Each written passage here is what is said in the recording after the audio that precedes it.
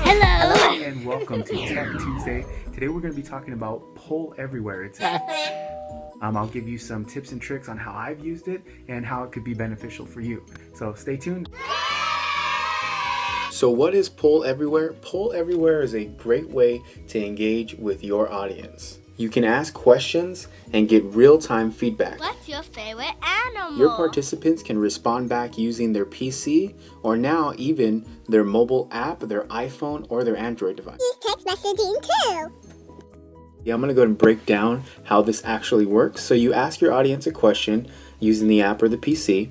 We're able to see their answers in real time. You're able to project that real time onto the big screen TV. To log in, it's really, really easy. You just need an email and a password. If you don't have a Poll Everywhere login, you would just create one.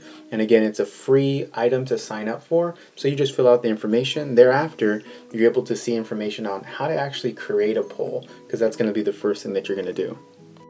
So what exactly is a poll? A poll is a question, and that question could be a multiple choice, a true or false, or an open-ended question. For example, on this question I asked, which social platform do you like staying synced up with me on?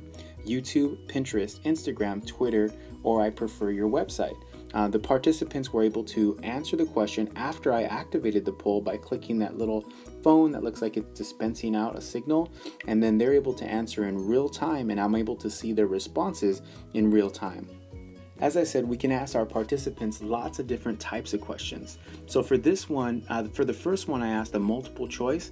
Now I'm gonna go and switch it up and ask a open-ended question and their response could be in the form of a text wall. And that's what you see here. It's just straight up and down and that's their responses in real time. I could actually change it into a cluster effect and this is what the actual cluster looks like. It's all bunched together I could even change it up a bit and if I would like their responses to be in the form of a word cloud, I could go ahead and change that by clicking on the little paintbrush there and changing it over to a word cloud. And as you can see, now their responses are coming in real time in the form of a word cloud.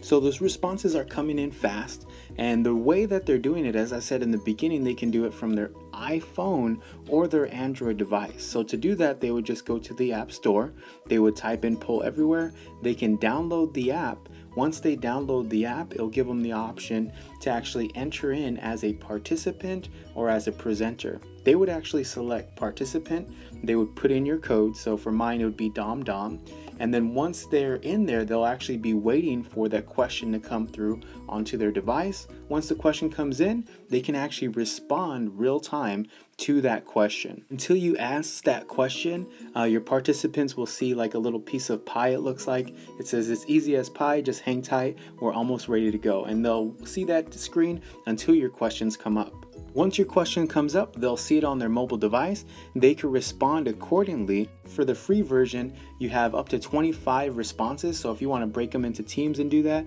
that's perfectly fine. And then they can actually see their responses real time on the big screen there.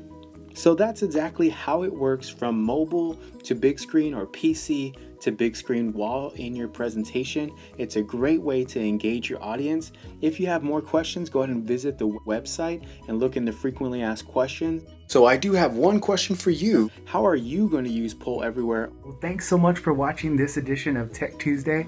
I'll see you guys next week. Uh, if this was beneficial for you, go ahead and go ahead and uh, send this link out. Hey, don't forget to subscribe.